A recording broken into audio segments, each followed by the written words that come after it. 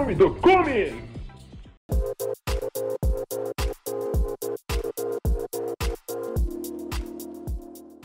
쇼미더 고민 시작해 보겠습니다. 오늘 질문 주신 분은 그 생숙 가지고 계신 분인데요. 이게 생활형 숙박시설이죠. 근데 지금 이게 마이너스 프리미엄이 붙어 있다고 해요. 근데 이제 문제는 여기가 또 임차인이 있는 것 같아요. 그래서 사실상 주택으로 사용을 하고 계신 거죠. 근데 이제 마이너스 프리미엄이 붙어 있으니까 이거를 이렇게 조금 보유해서 주택 경기가 좋을 때까지 가지고 가시느냐 아니면 지금 손해를 보더라도 팔아야 되냐 이걸 좀 고민을 하고 계신 것 같아요.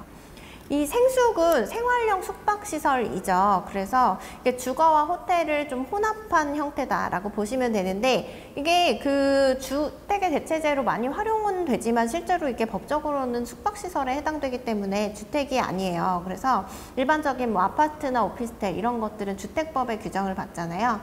근데 이 생활형 숙박시설은 건축법과 그리고 공중위생관리법 이거의 규율을 받는다라고 보시면 되거든요. 그래서 우리가 일반적으로 숙박시설에는 뭐 여러 가지가 있죠. 그 중에 이제 호텔이나 모텔 뭐 이런 것들은 대표적으로 일반 숙박시설이라고 보시면 되고 이 생활형 숙박시설은 흔히 말하는 레지던스 호텔 같은 것들을 마, 말한다고 보시면 되는데 어, 특징은 이제 중장기 투숙이 가능하고 취사시설이 존재하죠. 그래서 실제로 이제 사실상 주택으로 사용하는 것도 가능한 그런 형태인 거죠. 이게 그 한, 한참 이제 그 투자가 많이 몰렸던 이유는 주택에 대한 규제가 많았던 때 그때는 이게 숙박시설이기 때문에 주택수에는 포함이 안 되면서 사실상 주택으로 사용할 수 있는 장점이 있었기 때문에 어, 한동안 이게 프리미엄이 굉장히 높게 거래가 될 정도로 뭐 그렇게 그 틈새 투자처가 됐었어요. 그래서 이런 허점을 또 이용해서 건설사들도 이제 생숙을 아파트 대체제로 분양을 많이 했었죠. 그리고 이제 정부나 지자체에서도 뭐 이거를 그냥 알면서도 묵인했던 면들이 있어요. 그리고 심지어 이제 일부 지자체 같은 경우에는 전입 신고를 막 독려할 정도로 이제 적극적으로 이런 주택으로 사용하도록 권장하기까지 한 사례들이 있었죠. 그래서 실제로 이제 남양주 별내나 뭐 이런 데 가보시면은 그 별내 여기 생기는 그 근처에 어, 똑같은 형태로 지어져 있는데 뭐 오피스텔, 아파트, 생숙 뭐 이렇게 되어 있는 경우들이 있어요. 근데 사실상 이제 주택으로 다 사용이 되는 거죠.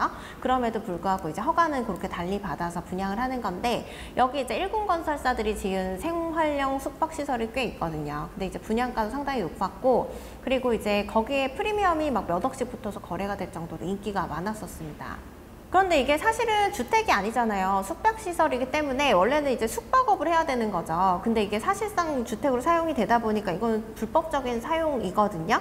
이게 자꾸 논란이 되니까 이제 2021년 10월경에 국토교통부에서 발표를 했어요. 그래서 생숙을 더 이상 주택으로 사용하는 거를 허용하지 않겠다라고 하면서 이게 이 갑자기 이제 주택으로 사용하지 못하게 하면서 뭐 이행강제금이나 이런 것들을 부과해버리면 이미 주거로 사용하는 분들이 너무 많기 때문에 현실적으로 혼란이 발생할 수밖에 없거든요. 그래서 이런 것들을 좀 막기 위해서 2023년 10월까지 계도 기간을 뒀죠. 그래서 이때까지 뭐 오피스텔로 용도 변경을 하거나 아니면은 숙박업 신고를 하고 숙박시설로 사용을 하게 되면 그러면 이행강제금을 부과하지 않겠다라는 거라고 보시면 되거든요.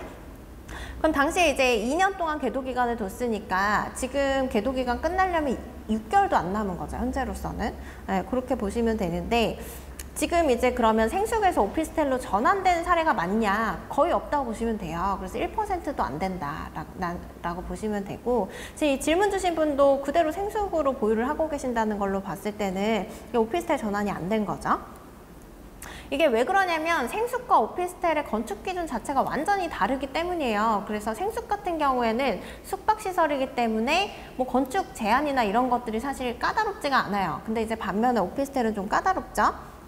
그러면 이제 그 오피스텔로 전환을 하려면 어 그 생숙을 그 오피스텔 건축 기준에 맞춰서 주차장 대수나 뭐 이런 것들을 맞춰야 되는데 이게 현실적으로 어려운 거죠. 생숙을 다시 짓지 않는 한.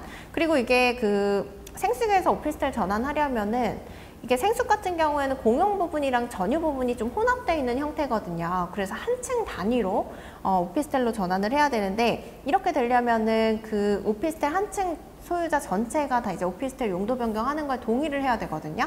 근데 이제 중간중간 이걸 숙박시설로 사용하시는 분들이 있기 때문에 이분들은 동의를 하지 않겠죠. 그러면 현실적으로 이게 오피스텔 용도 변경하는 것 자체가 어려운 거예요. 그렇기 때문에 이제 아까 말씀드린 것처럼 어, 오피스텔로 전환된 사례가 거의 없다라고 보시면 되거든요. 그래서 이분 같은 경우에는 좀 난감하실 것 같아요. 그래서 생숙 지금 마이너스 프리미엄이 붙어 있기 때문에 좀 상당히 손해를 많이 보고 파셔야 되는 상황이긴 한데 근데 여기서 또 주의하실 거는 지금 아까 제가 말씀드린 계도 기간이 올해 10월에 끝난다고 말씀드렸잖아요. 근데 이게 임차인이 존재하고 임대차 계약이 올해 이제 만료되는 걸로 예정이 되어 있다고 하시니까 어, 이게 주택으로 더 이상 사용할 수 없게 되면은 임차인을 새롭게 구하기가 어려워질 거거든요. 그렇게 됐을 때 이 임차인 임대차 계약 만료되는 시점에 이제 임대차 보증금이 상당히 꽤 될 텐데 그 금액을 좀 돌려주지 못하면 이런 것들이 좀 문제가 되실 수 있을 것 같아요. 그래서 어, 새로운 임차인을 구하기 좀 어려운 상황일 것 같다라는 생각이 들기 때문에 지금 좀 손해를 보시더라도 더 큰 손해를 좀 막기 위해서는 뭐 파시거나 아니면 다른 방향으로 좀 보시면 좋을 것 같은데 제가 이제 이거 판매 외에도 하나를 더 추천을 드려보면 이게 그 생숙을 분양하면서 사실 건설사에서 거의 주택으로 사용할 수 있다 이런 것들을 확정적으로 광고하는 경우가 많아요. 그래서 구체적으로 따져는 봐야겠지만 만약에 이런 것들에 속아서 분양 계약을 하셨다라고 하면은 분양 계약을 뭐 취소하거나 해제하는 것도 고려해 보실 수는 있거든요. 그래서 이게 생수기 원래 숙박 시설이기 때문에 주택으로 사용하면 안 되죠.